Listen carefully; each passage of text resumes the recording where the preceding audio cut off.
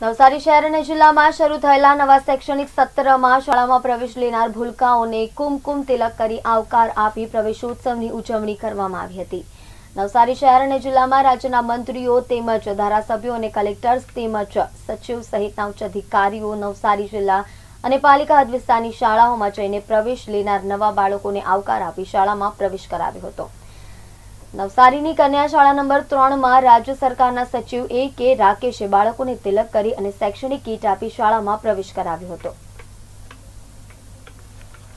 ખૂબ સારો કાર્યક્રમ છે. આપણે આ પ્રોગ્રામના વીસમા વર્ષમાં છીએ અને આજે આ શાળામાં આવીને બહુ સારું લાગી રહ્યું છે. ખરેખર ઉત્સવ પ્રવેશોત્સવ એટલે ઉત્સવનો જે એક માહોલ જોઈએ એ જોવા મળી રહ્યું છે. બાળકોમાં ઉત્સાહ છે, શિક્ષકોમાં ઉત્સાહ છે. અને ખૂબ સારી શરૂઆત થઈ રહી છે. કોરોના બાદ પ્રથમ વખત આ પ્રકારનું આયોજન થયું છે. બાળકો પણ કોરોનામાંથી બહાર આવ્યા છે. શું કહેશો? બધા માટે નવો અનુભવ સારું છે બધાને સારું લાગી રહ્યું છે કે કોરોનાનો અત્યારે સંખ્યા ઘણી ઓછી થઈ છે.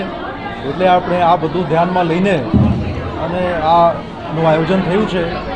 અને બે વર્ષો પછી આયોજન થયું લોકોને વધારે સારું લાગ્યું શાળાઓનું શિક્ષણમાં સુધારો જોવા મળી રહ્યો છે. સરકાર કેવી રીતના પ્રયાસો કરી રહી છે? સરકારના બધા પ્રકારના પ્રયત્નો છે.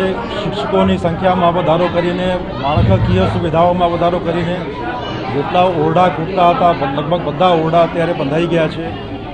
અને એ બધા પ્રકારના સરકારના પ્રયત્નો છે. સાથે શિક્ષકો માટે જે જે ટેકનોલોજીનો ઉપયોગ કરવો જોઈએ, કે વધુમાં વધુ સમય એ લોકો બાળકોને કેવી રીતે આપી શકે, એટલા માટે ટેકનોલોજી ની મદદ લેવામાં આવી રહી છે.